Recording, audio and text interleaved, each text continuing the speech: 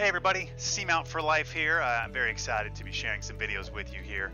Just got access to the preview early version of PGA 2K21. I haven't had the game for very long, so I don't have a ton of feedback other than my impressions are pretty positive at this point.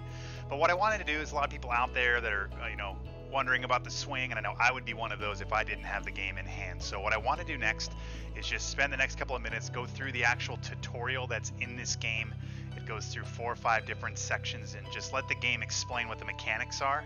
I'll sit back, mute my mic, enjoy the ride.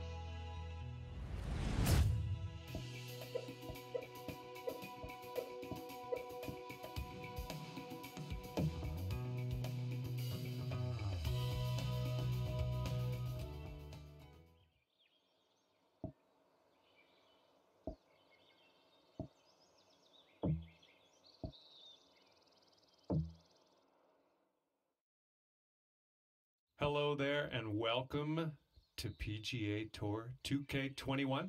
My name is John, and my job is to get you swinging that club like a pro in as little time as possible. Let's crack into it.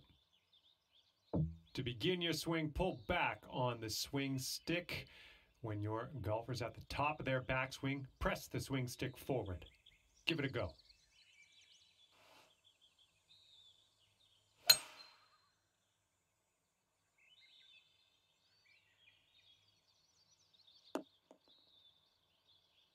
Great work on that one. After each shot, you will get feedback as to how accurate your shot was in the bottom right hand corner. In the middle of that circle, there's a white stripe, and that is your swing plane, and that is where your swing needs to live. The more difficult the shot, the more narrow your swing plane will be, so pay attention out there. Now let's try another swing and keep it inside that white stripe.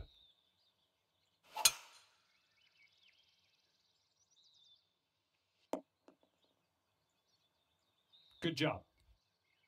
And you're also going to receive feedback on your swing timing, and that's the meter that kind of wraps around the top of your swing accuracy indicator. Your backswing timing refers to the point at which you transition from backswing into downswing.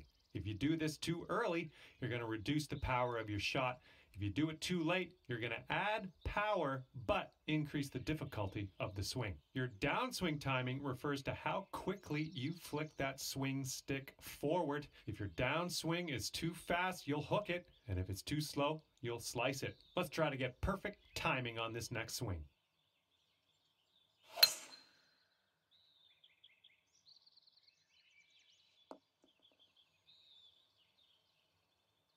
That was well done. Congratulations, you've got the basics down, Pat. Can't wait to see you use some of these lessons out on the course. In this lesson, we're going to talk about one of the most important skills you can have at your disposal, and that is putting. Now, to begin your putt, pull back on the swing stick. The farther you pull back, the stronger your putt will be. The backswing meter at the bottom of your screen is going to give you a nice work. The putt weight is how hard you hit your putt. To set your putt weight, move the aim marker towards or away from you. The further away from you the marker is, the stronger your putt will be. Since this is a downhill putt, we'll want to ease up on our weight. So move your aim marker a little bit closer to you by pulling down on the aim stick and then have a go at this putt.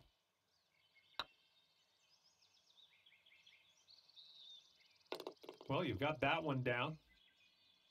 Those moving dots on the grid are telling us that your putt is going to break to the right, so you're going to have to aim to the left to compensate. Use the aim stick to make adjustments before putting so that you can drop this one in the hole.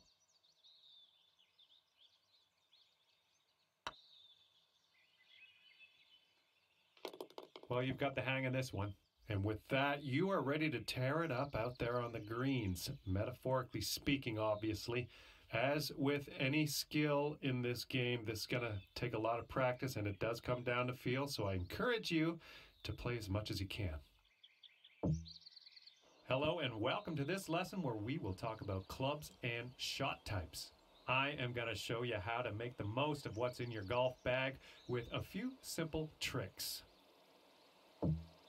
Okay, so for this shot, you're hitting into the wind. This means you are going to have to club up, or in other words, use a longer club.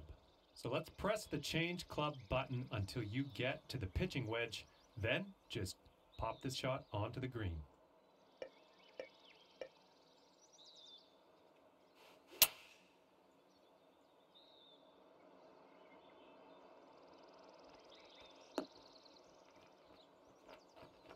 Good job on that one.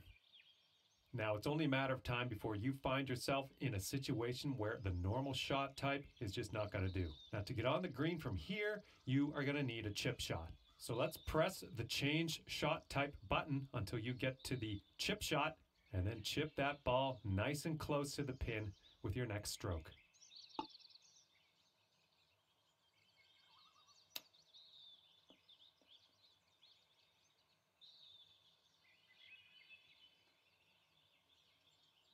That's the stuff. Information about the current lie of your ball is available always in the top right corner of the screen. This will give you a range of how much spin and power your shot will retain, and then you can use that info to adjust your shot accordingly. For this particular situation, let's change our club to the sand wedge and then change our shot type to a splash shot, which is a great shot for getting out of these greenside bunkers. After that, give that swing a go. See if you can stick it close.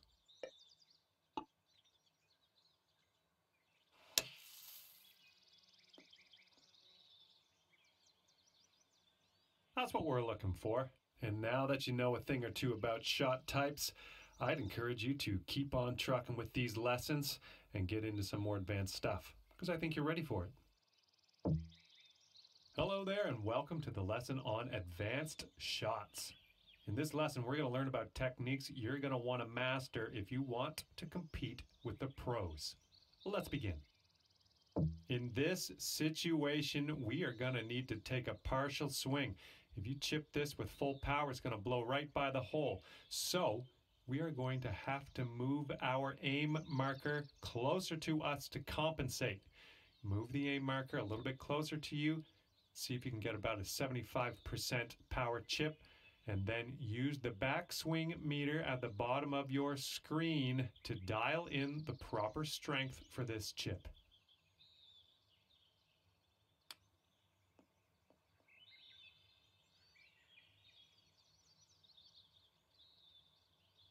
Good job. That's what we're looking for. You're going to come across situations like this one where you want to adjust the spin and loft of your shot. In this case, we want to land our shot on the green softly without a whole lot of roll. And for that, we need to add some backspin. Hold down the true shot button and move your aim stick down to increase your loft and backspin. And then have a go at this pin and see if you can land it nice and soft and close.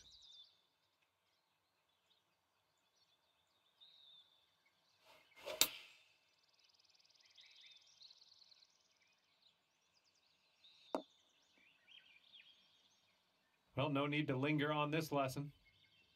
Applying a fade or draw to your golf shot is a great tool to have at your disposal. By holding down the true shot button and moving the aim stick to the left, you can apply a fade. By moving the aim stick right, you can apply a draw to the ball flight. To complete this lesson, apply a fade to your next shot and watch that ball curl gently back into the middle of the driving range.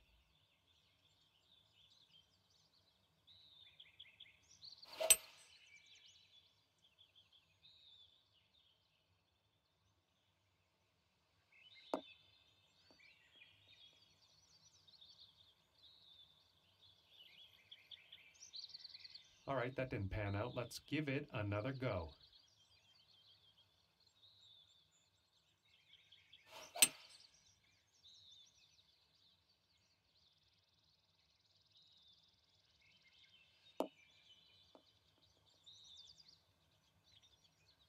Hmm, let's uh, just go ahead and give that another try.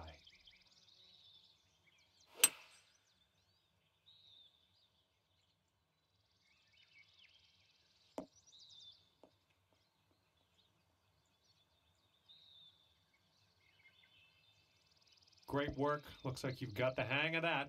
This is the end of the advanced shots tutorial.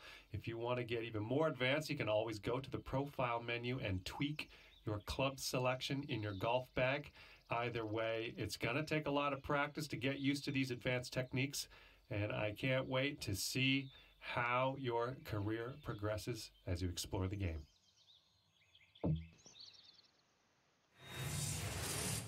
All right, there we go. There is the uh, the shot tutorials, swing tutorials. I wanted the game to explain it a lot better than I ever could, so I wanted to walk you through that. One final thing I want to note right now that I'm super excited about is they have added this swing calibration option now on the range.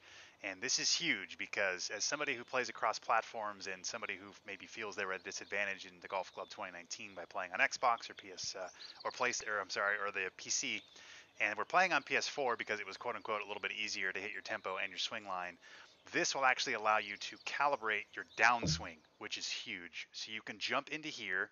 It allows you to then hit 10 shots and it will measure whatever your your downswing speed is and then that will be your perfect downswing, which I think is absolutely fantastic, and it should be huge across platforms and especially competitive uh, competitive wise in terms of the TGC tours. So extremely excited to be reporting that back to you guys. This is definitely something that I was asking for, at the very least, something to maybe pick your perfects. But this is even better, where you can actually calibrate it. You hit 10, and then it recalibrates it, and then now your swing would either be faster or slower, depending on what your preference is there, or whatever your um, you know typical tempo is. Great stuff there. Also, super happy with them adding a splash shot. That's something that I've been asking for for multiple games since we've always been using the flop and chips to get out of sand uh, traps, and that doesn't make any sense. So happy to report that they've added the splash shot. That's all for this tutorial. Thanks for hanging out on the channel. I'll have a few more as well, and uh, we'll see you next time.